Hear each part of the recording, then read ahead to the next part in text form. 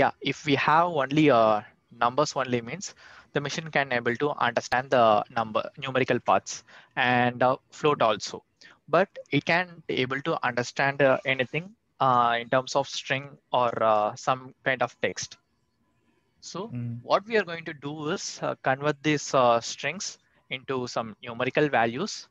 So if it's a category means we will be assigning some uh, integer values like that uh, we will be uh, going on or uh, in text attributes uh, we will be converting that into some vectors. So majority of the time we will be using a label encoder. So this is a Python module and the concept also.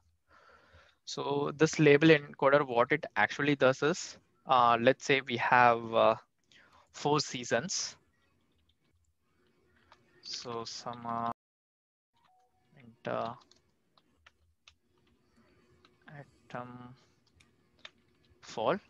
So we are going to convert this uh, four se seasons into numerical attributes. So if you just uh, use this uh, function, it will automatically uh, encode uh, in directly. So summer will be zero, winter will be one, and this will be two, and this will be three.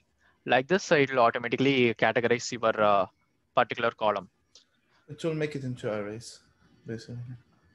Um, yeah, it will just uh, convert this uh, text into numbers. That's it.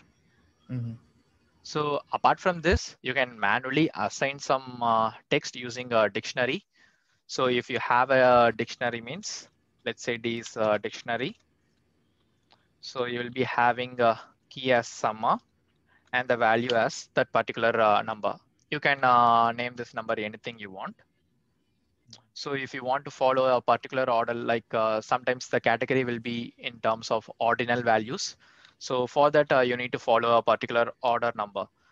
Mhm. When uh, you are facing that scenario, it's better to go with this uh, dictionary formats because uh, you can able to manually adjust the numbers uh, in your way.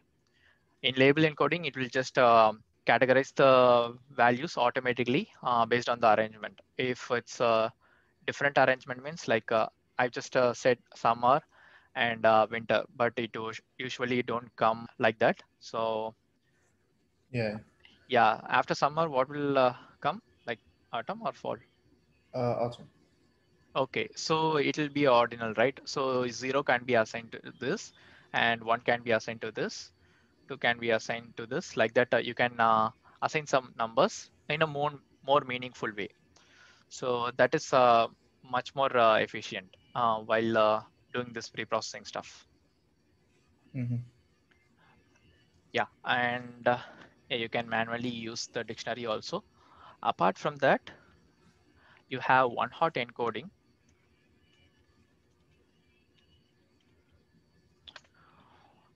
Similar to this, uh, it won't. Uh, it is also changing to numbers, but for each category, it will just create a new column. Let's say summer, winter, autumn, fall. So like this, for each category, it will create a new column. So let's say if we have a data set and that particular column has a category summer. So summer will be having one and uh, the rest of the attributes will be having zero. So, So, if it's, it's, basically a true and false. yeah, Okay. So in this way, uh, the models can able to easily understand whether the category is present or not. And usually uh, save some space, we will just drop this first column because if you just remove this uh, first column,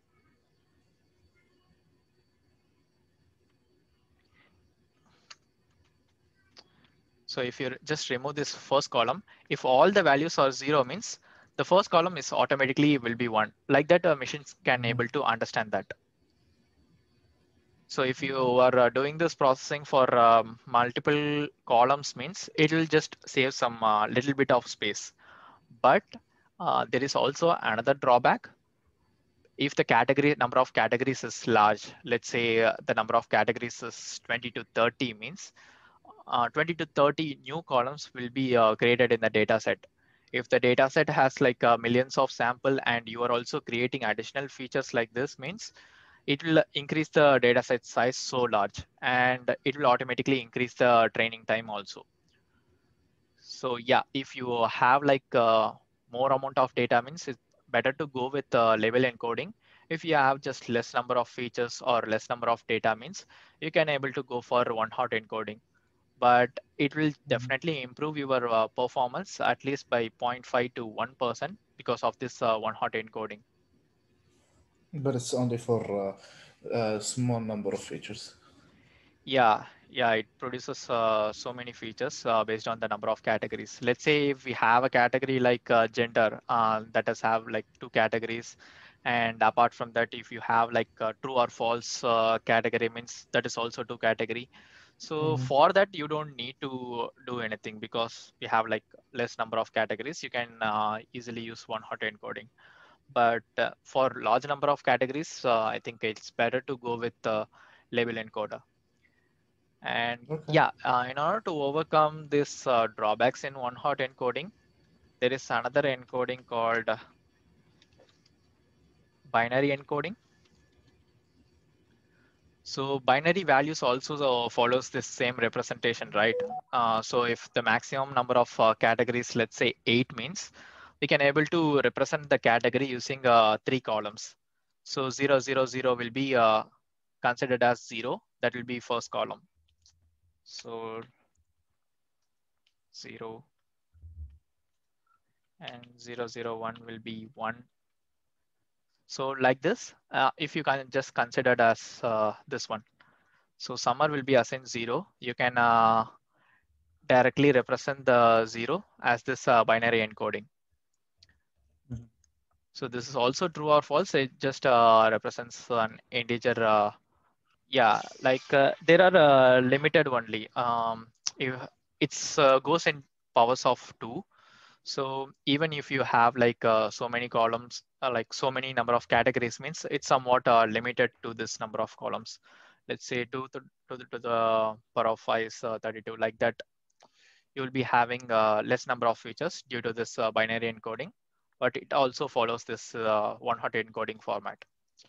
So there are also other encoding like hash encoding, and there are so many encodings. Competitions uh, um, people used to use this uh, binary encoding a lot uh, in order to save some space. But if you see majority of the projects, they will follow these two, two encoding methods only because it is much more efficient than this other encoding techniques. Okay.